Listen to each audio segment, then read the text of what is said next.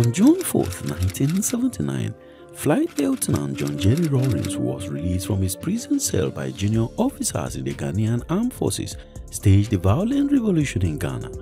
He was awaiting execution after he was put on open trial and sentenced to death for the attempted coup of May 15, 1979. But for us to fully understand the reasons why he staged a violent revolution in Ghana, we need to go back in time and begin to trace from the fall of Kwame Nkrumah in 1966. Please come with me. Welcome to this edition on Hisple Media, your in-depth history channel. Remember to like this video and hit the subscribe button if you have not done so yet. It will go a long way to help us. Thank you. On the 24th of February 1966, the government of Kwame Nkrumah was overthrown by the higher echelon of Ghana police and the military. The coup plotters justified their takeover by claiming that the administration of Kwame Nkrumah was abusive and corrupt. They also had a problem with Nkrumah's aggressive involvement in African politics and his belief that Ghana troops could be sent to fight anywhere in Africa. And finally, they pointed to the undemocratic tendencies of the Nkrumah regime which inadvertently affected the morale of the army. But was this coup able to solve any problem? Well, despite the vast political changes that were brought about by the overthrow of Kwame Nkrumah, many problems remained. For instance, even though Kwame Nkrumah's coercive power and personal charisma seemed to have created a sense of national unity, the underlying ethnic and regional divisions within the society were yet to be addressed. Creating a sense of nationhood became a real challenge for the government. As a consequence, successive new leaders faced the problem of forging different ethnic and sectional interests into a real Ghanaian nation. The nation's economic burdens occasioned by the extravagance of the government of Nkrumah continued to cripple successive governments' ability to foster the rapid development needed to satisfy even the least popular demands for a better life. The discussion about the type of constitutional government to adopt continued to dominate the agenda among the educated Ghanaians. While some favored a strong central government, others felt otherwise. Many Ghanaians remained committed to non-political leadership for the nation, even in the form of a military rule. And these problems would continue until the June 4th revolution in 1979. The leaders of the coup that overthrew Kwame Nkrumah immediately opened the country's borders allowed the release from preventive detention of all opponents of Nkrumah and opened the door for those on exile to return. The National Liberation Council NLC, composed of four army officers and four police officers was formed and immediately assumed executive powers. The NLC formed a cabinet of civil servants and promised to restore democratic governance as soon as possible. But the ban on the formation of political parties remained in force until late 1968. However, a representative assembly to draft a new constitution for the Second Republic was formed and submitted their draft proposal on January 26, 1968. With the opening of the assembly, political party activities was allowed to commence. By August 1969, when the first competitive nationwide election since 1956 took place, five political parties had been formed. The major contenders were the Progressive Party, PP, headed by Kofi A. Bawumia, and the National Alliance of Liberals, NAL, led by Komla A. Gbedemah. Interestingly though, Critics associated these two political parties with the political division of the early Nkrumah years. This was evident as most of the old opponents of Nkrumah's CPP found themselves supporting the PP. Similarly, the National Alliance for Liberals was seen as the successor of the CPP's right wing, which Gbedemah had headed until he was removed by Nkrumah in 1961.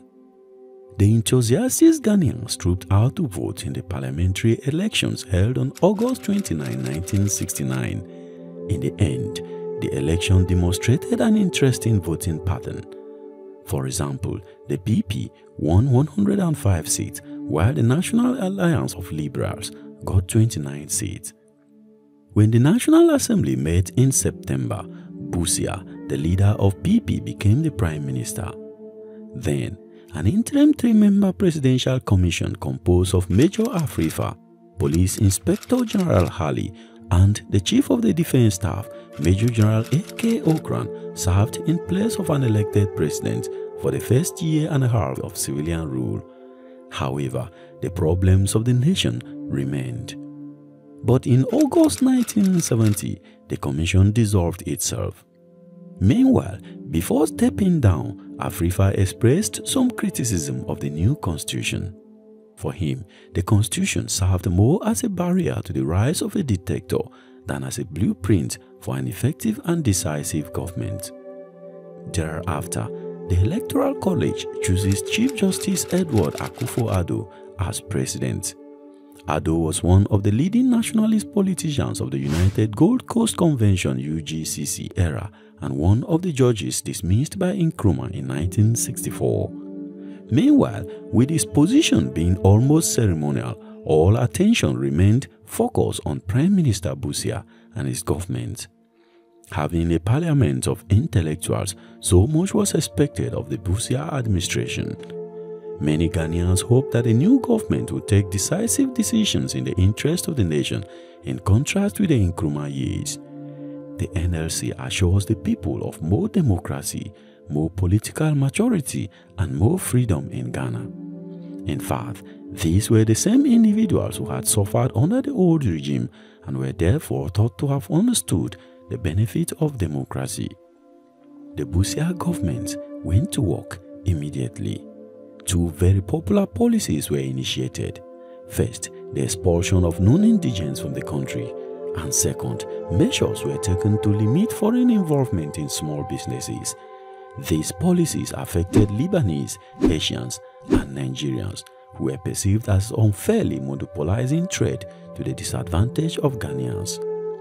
While these policies appeared popular, many others were unpopular. Busia's decision to introduce a loan program for university students who were at this time enjoying free education and his decision to devalue the national currency were challenged. Also, the government decided to concentrate development in rural areas in order to address developmental imbalance. This led to the question, was rural development more important than the needs of the urban population? Again, harsh economic realities foreign and domestic debt burden, inflation were major problems for the government. To make matters worse, the prices of the country's major export commodity, cocoa, remained volatile. Factors such as competition from neighboring Cote d'Ivoire, a lack of understanding of free market forces, accusation of bureaucratic incompetence in the cocoa marketing board, and smuggling aggravated the situation. Another factor over reliance on recommendations of the International Monetary Fund, especially in the austerity measures adopted, was also a great challenge. The recovery measures also severely affected the middle class and the salaried workforce, both of which faced wage freezes, tax increase, currency devaluation, and rising import prices. These measures precipitated protests from the Trade Union Congress. And then, in response, the government sent the army to occupy the trade union headquarters and to block strike actions. However, the army upon whom Busia relied for support were themselves affected by these same austerity measures. Knowing that the austerity measures had alienated the officers, the Busia government began to change the leadership of the army. This, however, was the last straw on January 13, 1972, within 27 months, Lieutenant Colonel Ignatius Kutu Acheampong, who was temporarily commanding the 1st Brigade around Accra, led a bloodless coup that ended the Second Republic. Neither ethnic nor class difference played a role in the overthrow of Busia. Despite its short existence, the Second Republic was significant in that the development problems that the nation had faced came clearly into focus. The impact of the fall of Ghana's Second Republic cast a shadow across the nation's political future because no clear answers to these problems had emerged. According to one writer, the overthrow of the Busia government revealed that Ghana was no longer the pace setter in Africa's search for a workable political system. Both the radical left and the conservative right had failed. So, what was the way forward? The political direction of the nation became uncertain. At this time, Ghanaians were unable to arrive at a consensus on the type of government suited to address their national problems. It was this situation, the inability of the Busia government to satisfy diverse interest groups that ostensibly gave Acheampong an excuse for the January 13 takeover. Acheampong's National Redemption Council, NRC, claimed that it had to act to remove the ill effects of the currency devaluation of the previous government and thereby, at least in the short run, to improve the living conditions for Ghanaians. Under the circumstances, the NRC was compelled to take immediate measures. Although committed to the reversal of the fiscal policies of the Busia government, the Acheampong in contrast adopted policies that appeared painless for Ghanaians and therefore popular. But unlike the coup leaders of the NLC era, members of the NRC did not outline any plan for the return of the nation to democratic rule. To justify their takeover, however, coup leaders leveled charges of corruption against Busia and his ministers.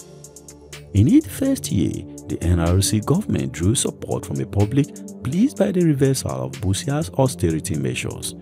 The new government revalued the currency upward, repudiated foreign debt, and rescheduled debt repayment. Later on, the NRC nationalized foreign-owned companies. While these measures were popular on the streets, they did nothing to solve the country's real problems. If anything, they aggravated the problem of capital flow. Now, unlike the NLC of 1966, the NRC sought to create a truly military government.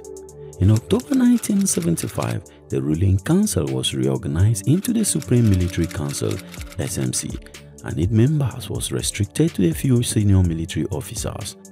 The intention was to consolidate the military's hold over government administration and to address occasional disagreements, conflict and suspicions within the armed forces.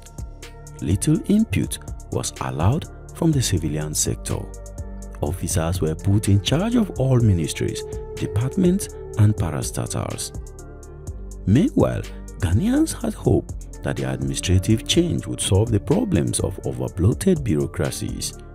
Hence, Acheampong's popularity continued into 1974. His government provided subsidy for basic food import, encouraged self-reliance in agriculture and the production of raw materials.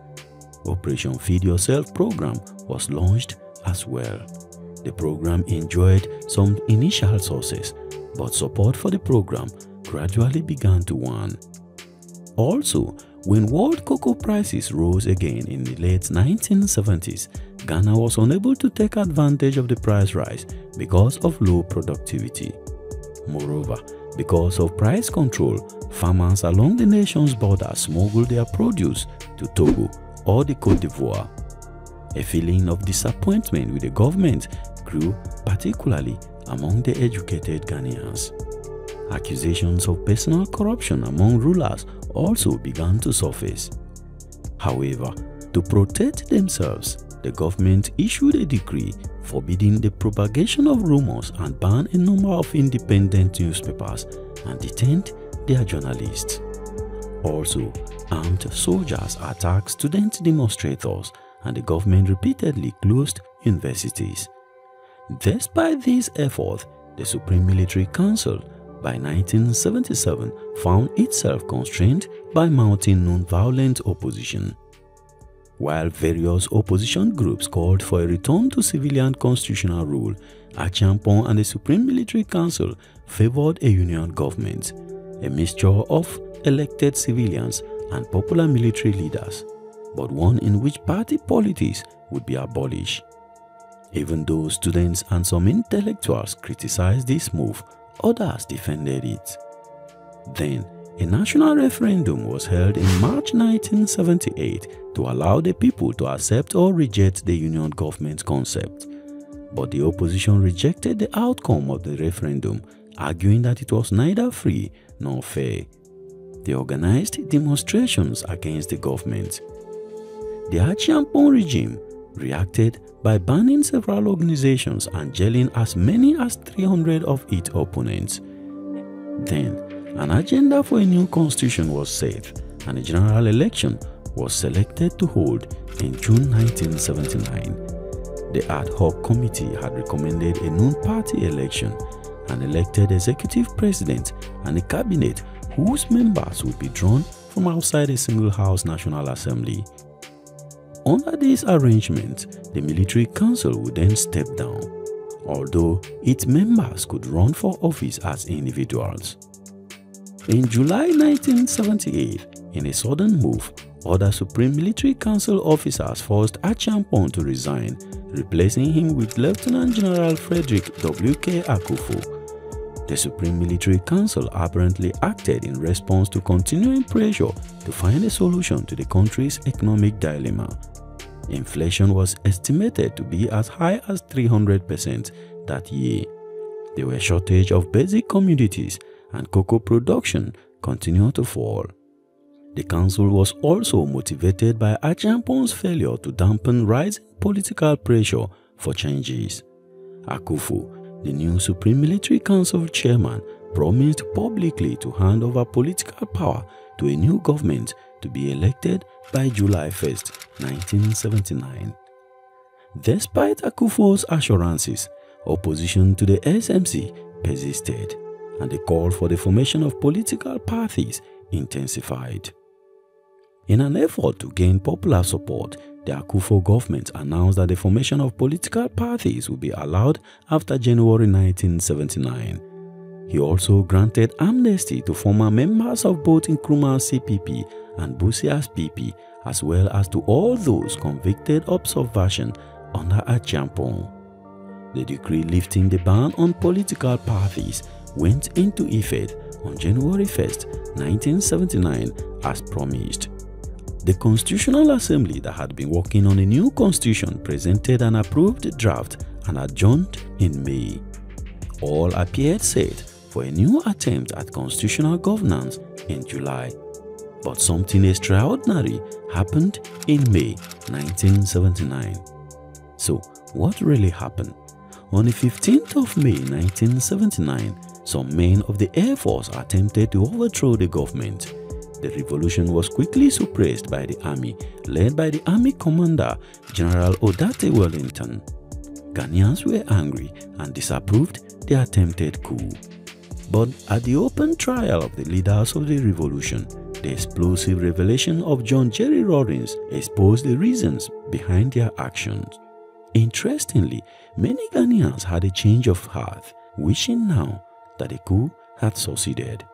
However, John Jerry Rawlings was sentenced to death for the attempted coup.